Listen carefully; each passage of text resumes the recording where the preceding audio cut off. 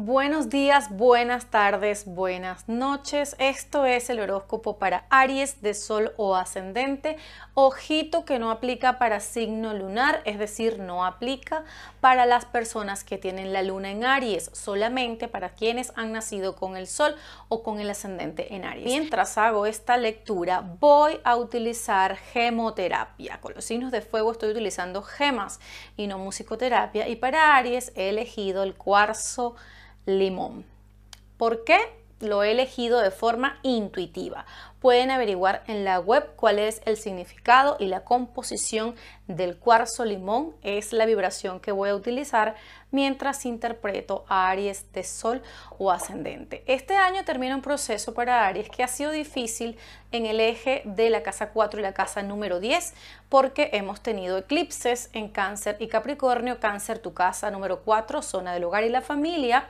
Capricornio, tu zona de la profesión, la casa número 10. Allí todavía falta una recta final, asuntos por resolver que van a ir al ritmo de los eclipses y también donde va a tener mucho que ver el hecho de que este año 2020, al final del año, tenemos la salida definitiva de Saturno, el planeta del karma y de las pruebas, el que se siente bien pesadito, pero bien aleccionador del signo de Capricornio, se muda al final del mes de diciembre de 2020 al signo de Acuario y deja ya tu casa número 10 en paz, habiendo terminado un proceso profesional. Así que si ha sido difícil, y sé que lo ha sido, el tema de redireccionar tu carrera, elegir cómo vas a seguir ejerciendo tu carrera durante los próximos años, o si ha sido difícil un proceso donde he estado en proceso de reestructuración, valga la redundancia, tu tema de familia, de hogar, bien seas una persona casada, soltera, separada, que vive con sus padres o que vive sola, en la estructura de la familia ha pasado por un proceso súper complicado, súper difícil, todavía quedan decisiones por tomar, todavía quedan eh, pasos y experiencias, sobre todo experiencias por vivir, para que tú puedas dejar atrás ese tema que se va a resolver en el año 2020 porque se nos van los nodos al eje de Géminis y Sagitario. Eso lo vamos a ver ahorita cuando estemos recorriendo mes a mes, pero es un alivio. Pienso que después del año 2020 las personas Aries de Sol ascendente se van a sentir muy aliviadas en estos dos temas de familia y de profesión que son de los más importantes, ocupan dos de las casas más importantes dentro de la rueda zodiacal Además, también vamos a tener este año algo súper clave que es la retrogradación de tu planeta Marte, tu planeta regente, el que rige a Aries, que es Marte, y va a retrogradar en tu propio signo. Vas a tener unos tres meses por ahí bastante complicados, pero es parte de, tienes que atravesarlo, tienes que vivirlo y sobre todo tienes que asumirlo. Bien, vamos a ir mes por mes para analizar esto, querido o querida Aries, de Sol o Ascendente. Ya enero pasó, yo dejé horóscopo y toda una serie de información sobre lo que significó la conjunción Saturno-Plutón, que aunque siguen los efectos, ya lo expliqué bastante detallado. Así que inicio de febrero en adelante, vamos a ver, febrero, tenemos la primera retrogradación de Mercurio en Pisces principalmente y un poquitín en el signo de Acuario, que va a ser desde el 17 de febrero, anota en tu agenda por favor, hasta el 10 de marzo. Como dicen, ni te cases, ni te embarques, no es un periodo para decisiones definitivas, ocurre entre tu casa número 12, que son los finales, y tu casa número 11, que son los proyectos, naturalmente. Sobre todo en la casa de los finales lo vas a sentir. Lo que tú estabas viviendo en marzo del año 2019, acuérdate que estaba pasando en tu vida o cómo te estabas sintiendo, pues eso mismo lo podrías revivir si no fue de todo resuelto durante esta retrogradación entre febrero y el 10 de marzo, porque esa es tu casa de los finales y lo que puede estar pasando es que te sientas eh, un poco triste, deprimido, deprimida, acongojado, acongojada, yendo muy hacia adentro y sintiéndote muy vulnerable con respecto a los últimos acontecimientos en tu vida o a algo que signifique un final algo que signifique un final de ciclo para ti, se va a sentir como wow, te va a sentir muy vulnerable, pero creo que es incluso necesario para personas de tu naturaleza Aries, tu signo solar o ascendente Aries, que te permita ser vulnerable y pasar por eso. Puedes también revisar un proyecto creativo o reorganizar lo que va a ser el funcionamiento dentro de tu, de tu, equipo de trabajo o que también cuestiones algunas amistades, haya por ahí algunos malos entendidos con amistades, pero siento más que va a ser por el lado de Pisces, en tu casa de los finales, así que pasa por ese proceso Aries y si tienes que llorar, llora.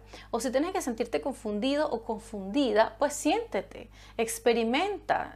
Después de la nubosidad a veces llega información muy valiosa también, pero depende cómo tú estés emocionalmente.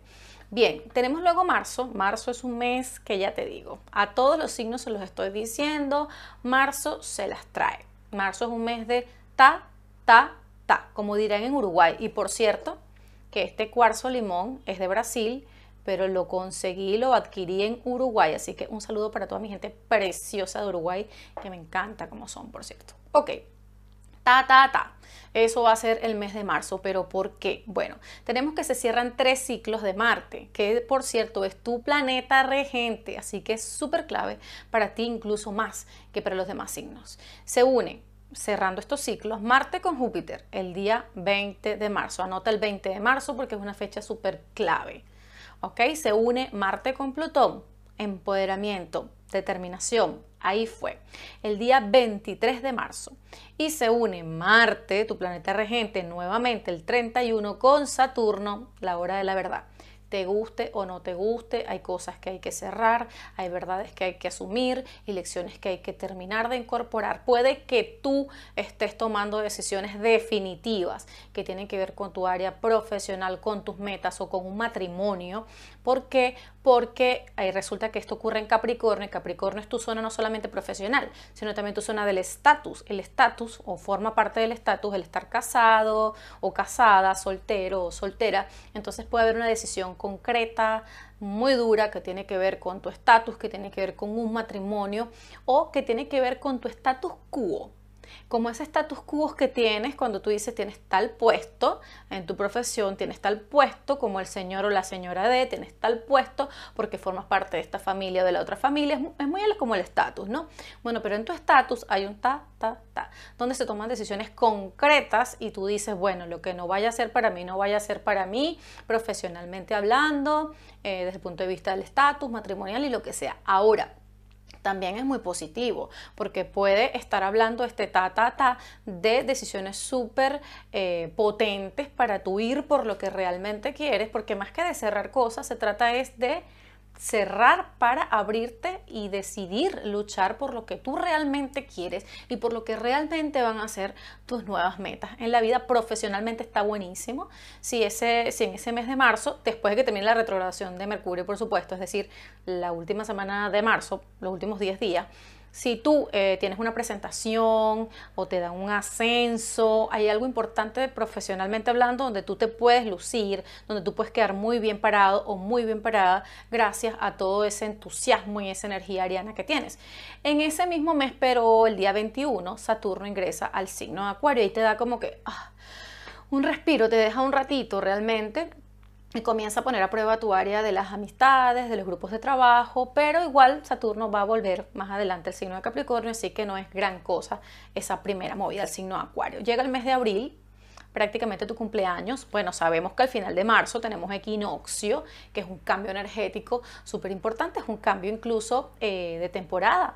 Dejamos en el hemisferio sur, eh, entramos al otoño y en el hemisferio norte entran a la primavera. De hecho, es el equinoccio de primavera para los del norte y el equinoccio de otoño para nosotros, los del sur, como yo que vivo acá en Chile. Entonces, después de ese equinoccio Puede que tu cumpleaños sea por esa fecha, los últimos días de marzo, por supuesto, si eres Aries del primer decanato, pero si eres de segundo o tercer decanato, llega abril, que es el mes de tu cumpleaños, no hay mucha energía retrógrada, de hecho, no hay energía retrógrada, todo está bastante directo, acabas de tomar decisiones súper importantes, está el sol en tu retorno solar que va a estar bueno porque va a estar libre de retrógrados y tenemos en el mes de abril una conjunción Júpiter-Plutón. Júpiter-Plutón en tu casa número 10, tu casa de la profesión. Así que puede ser un gran éxito augurado para ti en el mes de abril, cerca de tu cumpleaños, un gran éxito profesional, un logro profesional, un ascenso, un empoderamiento. Está súper positivo para el mes de tu cumpleaños y con una revolución solar bien interesante. Pasemos a mayo y junio, dos de los meses más importantes de este 2020, para ver cómo va a afectarte a ti, que me estás viendo, Aries de Sol o ascendente.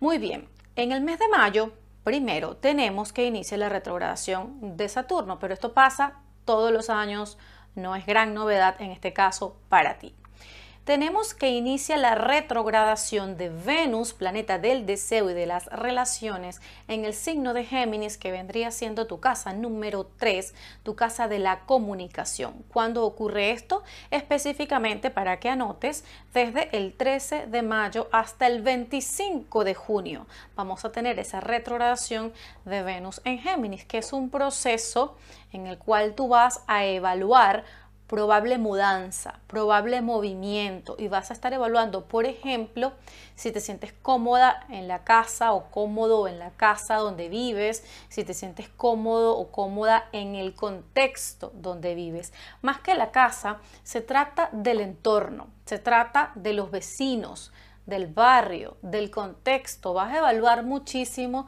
si te sientes a gusto con respecto a tu contexto o a tu entorno inmediato. Y también podrías estar evaluando igualmente o viviendo algunas situaciones en relación con tus hermanos o con tus hermanas, pero lo veo más desde el punto de vista académico.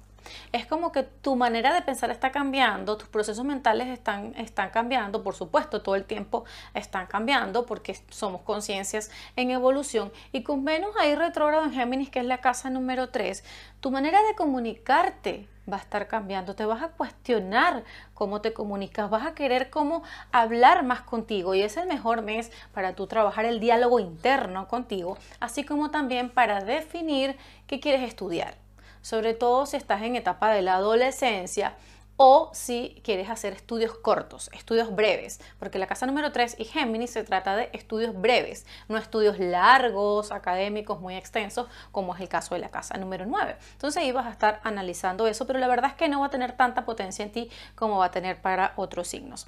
Tenemos que también inicia la retrogradación de Júpiter en Capricornio, que es tu casa eh, número 10, la casa de la profesión, así que ya lo sabes que hasta ese punto, si no has tomado decisiones profesionales, no es muy recomendable hacerlo para esa fecha en particular, es decir, para el mes de mayo ni para el mes de junio, porque llega junio y pasa de todo, pasa de todo en tu casa 3, que es la casa de la comunicación, así que pienso que es un año en el cual vas a trabajar mucho en cómo te comunicas con tu mundo exterior cómo te comunicas realmente con las personas que te rodean. Porque Aries es muy efusivo, Aries tiene mucha energía, pero no es precisamente por naturaleza, al menos que lo haya trabajado, el mejor comunicador.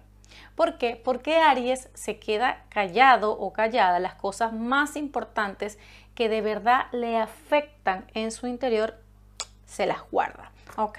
Bueno, ¿qué tenemos allí? Tenemos Venus Star Point, que es la unión del Sol y de Venus, por lo tanto, de conciencia y de deseo, que pasa cada cuatro años en un mismo signo, cada diez meses, pero en distintos signos, cada cuatro años en el mismo signo. Y no lo teníamos en Géminis desde el año 2016. Pregúntate qué estaba pasando en el año 2016, probablemente muchas cosas en tu vida pero allí probablemente estabas cuestionando algo que tiene que ver con quién vivo, dónde vivo, si me mudo, no me mudo, de, contexto, de ciudad inclusive, porque la casa 3 tiene mucho que ver con ciudad, pudiera ser una mudanza de ciudad. Entonces te vas a conectar nuevamente con tu deseo y también te vas a conectar nuevamente con el deseo de comunicarte. Y si tú trabajas en el área de las comunicaciones, la publicidad, todo lo que tenga que ver con medios, con información, como es mi caso, que soy comunicadora social, aplicándolo acá a comunicar astrología, puedes retomar algún proyecto comunicacional. ¿Okay? Eso, retomar un proyecto comunicacional que quizá tenías abandonadito, que dijiste por ahí en el 2016 que querías eh, irte por esa vía y pues no le prestaste atención, no lo continuaste, pues ahora puedes retomar un proyecto comunicacional. Se mudan los nodos del karma el 4 de junio a Géminis y Sagitario, que son tus casas número 3 y tu casa número 9. Este es el eje del pensamiento. A partir del 4 de junio y hasta finales del año 2021, el cambio en ti ya no va a ser en cosas estructurales, hogar, familia, matrimonio, porque eso lo vas a resolver este año. Pero a partir de junio se va a tratar de aquí, de tu mente, de tu pensamiento, cómo ves el mundo, cómo quieres realmente ver el mundo. Tu filosofía de vida está cambiando. Los eclipses tienen mucho que ver con tu filosofía de vida, con la manera como piensas, cuáles son tus ideales, con tu vocación también. Puedes estar tomando decisiones relacionadas más que con tu carrera, ahora con tu vocación, que es una cosa muy distinta. Y durante estos eclipses que comienzan ahora hasta finales del 2021, puedes tomar decisiones importantes o la vida te puede ayudar a tomar decisiones importantes que tienen que ver con dónde vives, eh, pero geográficamente. ¿En qué país vives? Y también qué estudias. Es como si pudieras decidir cambiar de carrera o pudieras decidir iniciar una carrera universitaria. Las decisiones universitarias o académicas y de estudios cortos también van a ser muy importantes para ti a partir de este momento. Hay eclipse. En junio hay eclipse. Específicamente tenemos el 5 de junio, un día después del cambio de nodos, tenemos el eclipse penumbral de luna en Sagitario. ¿Ok? Esto sería tu casa número 9. Del lado del nodo sur.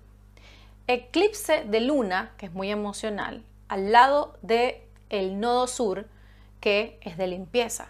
Es para que tú hagas una limpieza emocional, pero que influencie de alguna manera tu manera de pensar. Yo creo que esto es como un renacer, un morir y renacer, pero más espiritual, que pragmático o tangible, o del mundo tangible o del mundo práctico, porque la casa 9 es muy espiritual, es muy elevada. Entonces, como que muere un ideal filosófico en ti y nace otro. O puede que te des cuenta, si es por ejemplo vives en el extranjero, o sencillamente vives en un lugar, en un país donde no quieres estar, que tu ciclo en un país se terminó. Puede que te des cuenta de que tu ciclo en un país se terminó, porque luna llena es de finales. Un eclipse de luna es una luna llena. Y en Sagitario, y en la casa número 9, el extranjero, puede que digas mi ciclo en este país se terminó, indistintamente de que sea tu país de nacimiento o de que estemos hablando de eh, el país donde estás viviendo, aunque no sea tu país natal, no sea tu, exacto, tu país de nacimiento.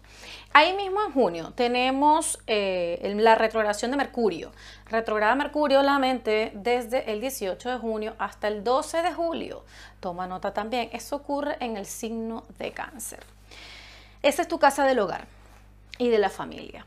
Va a estar revuelta, son como los últimos días de un proceso súper fuerte, emocional, que tiene que ver con tu familia. Puede que vuelva un problema, una situación que se creía ya superada y vuelva a presentarse. Puede que haya malos entendidos con tu familia, que haya problemas incluso en las estructuras donde vives, pero viendo que es cáncer y casa 4, creo que son temas emocionales muy profundos.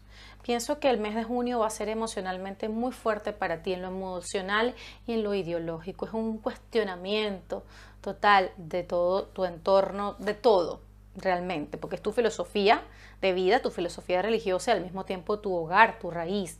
Te vas a cuestionar eh, cuál es tu hogar, si estás en tu casa, si ese lugar que es tu casa realmente te sientes que sea tu hogar o si tienes que buscar tu propio hogar, quién es tu hogar también. Va a estar fuerte esa, esa retrogradación y ahí tenemos otro eclipse. Tenemos el 21 de junio un eclipse anular de sol en cáncer ahí mismo.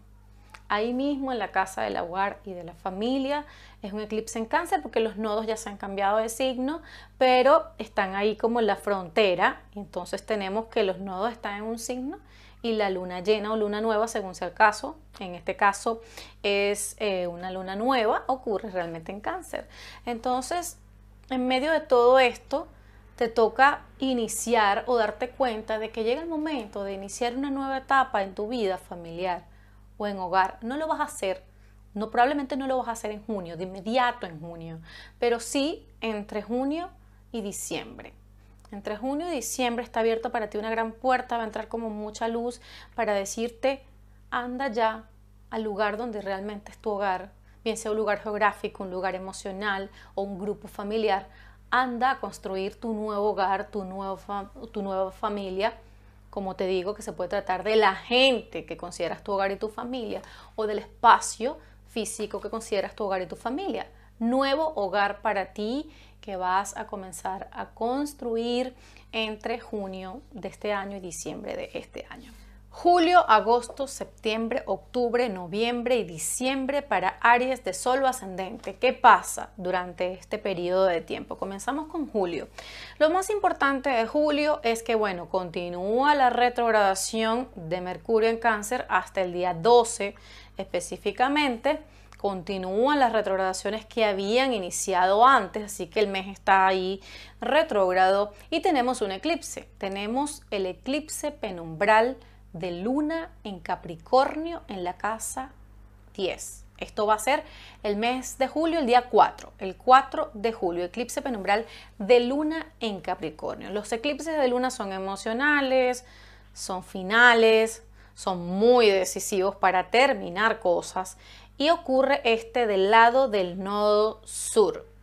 O sea que doblemente es un eclipse de limpieza, es un eclipse para desechar desechar todo lo que no vaya, todo lo que ya no tenga sentido, todo lo que no cumpla un propósito en tu casa, de la profesión, de las metas y también del estatus social, el estatus quo y el estado civil.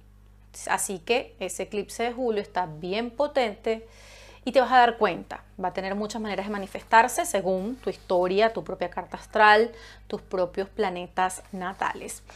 Ahora tenemos el mes de agosto, que es uno de mis meses favoritos del año porque no hay Mercurio retrógrado, no está tan retrógrado y es un mes de fuego. El mes de agosto es el mes del signo de Leo. A ti te va muy bien con los aspectos que ocurren en signos de fuego porque tú eres un signo de fuego. Yo se lo menciono también al signo de Sagitario que hay posibilidad de aspectos fluidos que tú vas a estar recibiendo del Sol, de la unión del Sol y Mercurio en el signo de Leo, que en este caso Leo es la casa 5, procesos creativos, romance, motivarte, disfrutar la vida, de pronto conoces a alguien, conoces a una persona allí en el área del romance durante el mes de agosto, ¿por qué no darte esa oportunidad? Si eres una persona Aries de Sol ascendente que sea soltera, también eh, va a estar como la pasión por el tema de la maternidad, de los hijos, de crear algo. Vas a tener muchas ganas de crear algo porque va a estar la energía concentrada allí en el signo de Leo y va a estar Marte en tu signo que es Aries, que es su domicilio, todavía ahí no retrograda en agosto. Entonces, con Marte en tu signo, con muchas ganas de conquistar el mundo, vamos a reconstruirnos, vamos a salir adelante, voy a salir adelante, quiero hacer cosas. Y además, el Sol y Mercurio en Leo, por supuesto, que es un mes movidito en el cual si se trata de hacer cosas, es el mejor momento y también es uno de los mejores momentos para conocer a alguien, para el área de romance, de la pareja aunque de entrada no sea algo estable, pues a largo plazo lo puede ser. Septiembre, ojo con septiembre, porque del 9 de septiembre al 14 de noviembre, anota muy bien esta fecha, tenemos la retrogradación de tu planeta regente, que es Marte, regente de Aries, tu signo solar o ascendente, en su propio signo, en Aries.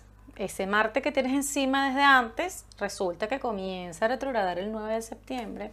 Y allí tú te puedes sentir como maniatado o maniatada, como que las cosas que quieres hacer no avanzan del todo o tú no tienes tantas ganas de inyectar la energía para que avance porque tienes que resolver cosas dentro de ti.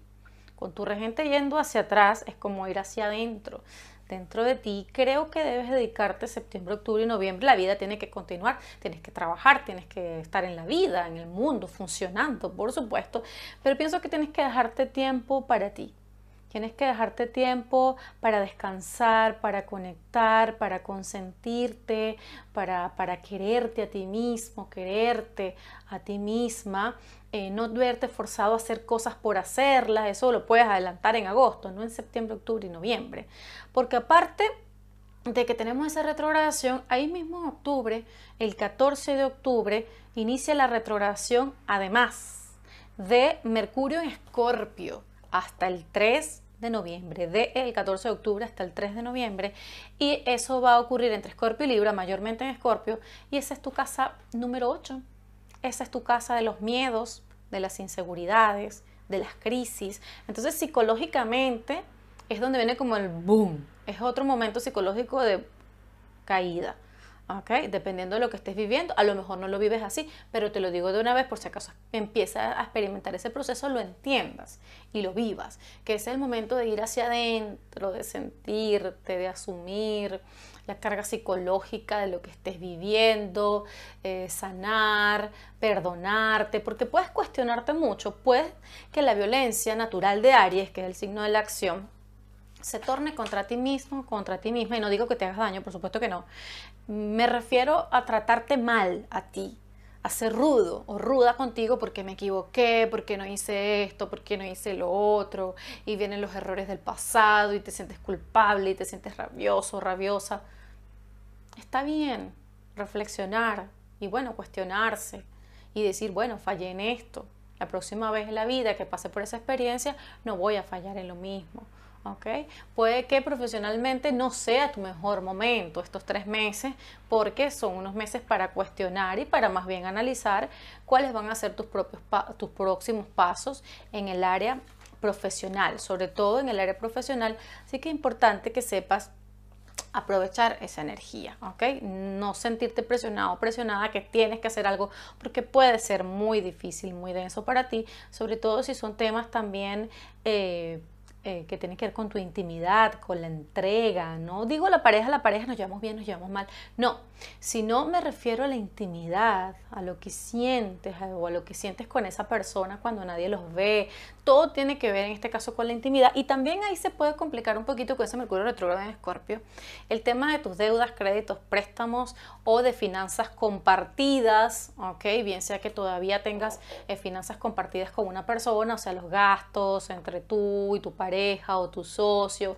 Hay que revisar eso ahí, hay que hacer una auditoría porque puede que algo no esté funcionando o que haya un conflicto que tenga que ver con las finanzas compartidas, con inversiones, eh, un dinero que no te esté dando, una inversión que no te esté dando resultados y puede también haber una especie de crisis económicas allí, allí porque aunque yo no esté hablando mucho de Urano, en este, en este horóscopo, en estos tránsitos 2020, porque ya tenemos a Urano en Tauro desde el año pasado, ya sabemos, sigue en la misma posición, y no va a tener aspectos exactos y perfectos, y ya los tuvo en 2019, no los va a tener con los planetas lentos. Yo no me estoy enfocando en Urano, por eso. Pero tú tienes a Urano en este momento, tu casa número 2, y le queda tiempo allí. O todo este tema de las finanzas compartidas también me hace pensar que eh, tú estás en un proceso de reinvención económica de tus propias finanzas, de reinvención de cómo generas recursos, cómo administras recursos para que te funcione el tema de las finanzas personales. Pero eso de una u otra manera no elimina y no se puede desconectar del todo con tus finanzas compartidas. O sea, creo que el tema financiero va a estar allí eh, muy fuerte durante el mes de octubre y noviembre. Cosas por resolver que tienen que quedar claras y con mucha honestidad en cuanto a finanzas compartidas. Y luego llega el mes de diciembre, maravilloso mes de diciembre, que a todos nos encanta, a la mayoría. Y tenemos que llegan Saturno y Júpiter a el signo Acuario, aquí en tu rueda zodiacal sería tu casa número 11. Por supuesto, Acuario es tu casa de los proyectos, de los clientes. ¿Y qué pasa? Que llega el momento o una etapa, no es un momento, comienza una etapa porque hay una conjunción perfecta entre Saturno y Acuario el 21 de diciembre que marca todo un cambio energético hacia el signo de Acuario que es la ampliación. Se trata de que para ti viene una ampliación en lo que tiene que ver con clientes, audiencias, proyectos, creatividad. Vienen cosas nuevas y en grande para ti que van a implicar algunas responsabilidades. Pero déjame decirte que después de lo que tú viviste, con Saturno en Capricornio desde el año 2018, esto es pan comido para ti, exceptuando algunos aspectos específicos que se presenten más adelante, 2021. Pero esto es maravilloso para ti porque ocurre en un signo de aire, tú eres un signo de fuego, la energía de Acuario funciona muy bien contigo, así que tú de Saturno y Júpiter en Acuario lo que tienes que hacer es alegrarte, porque es una energía expansiva, súper positiva para ti, incluso estando involucrado Saturno en tu área de los grupos. Dicho esto, no me queda más que desearte un excelente año 2020. Nos quedan todavía 11 meses de este maravilloso año. Les recuerdo que me pueden escribir a mi dirección de correo electrónico xiomara.crc.gmail.com y también para consultas personalizadas a teamciocolmenares.gmail.com Team T-A-M de equipo teamciocolmenares.gmail.com. De todas maneras, toda esta información está compartida en eh, la descripción que acompaña este video, indistintamente de la plataforma donde lo estén mirando. Y hablando de plataforma, Está a su disposición mi cuenta de Instagram, cio.clxio.cl, donde comparto información adicional muy distinta a la que sale en YouTube. También está el fanpage de Facebook, CIO Colmenares, y por supuesto nuestro principal canal que es YouTube, el canal CIO Colmenares, donde están todos invitados a suscribirse y activar la campanita para que les avise cada vez que comparto un video, así no se pierdan su signo. Si su signo no ha salido todavía, apenas salga, YouTube les avise con la campanita. Por último, nuestro compromiso, el de siempre, que tengan feliz día, feliz mes, feliz año y sobre todo, feliz vida.